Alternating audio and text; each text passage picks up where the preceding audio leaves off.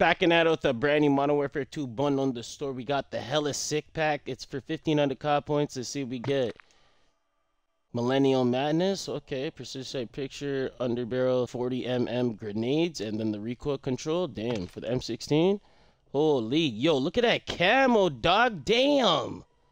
Five attachments with the receiver. Yo, that camo's unique, bruh. Like a Master camo, it's goddamn self. Got the Lachmann sub, the Bodekias, or what, however you pronounce that. Got precision sight picture, sound suppression, and flashlight. Holy. Bro, I don't even know, man. That camo's just nuts. Got the X10 all over this. Five attachments with a receiver, built great.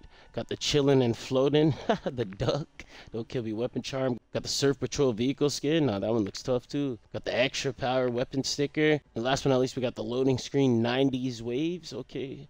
It's the waves from the 90s. Why? Because the water's polluted now? Guys, this bundle's a thousand percent worth it. The hella sick pack. Guys, look at that camo on it, bro. This is like its own mastery camo. Bro, it kind of even looks better than like Orion, bro. Let's be honest, bro. Damn. This camo's crazy, bro. This is thousand percent worth it, guys. Hope you enjoyed this bundle. Way more to come. Subscribe new to my channel and like this video. Peace.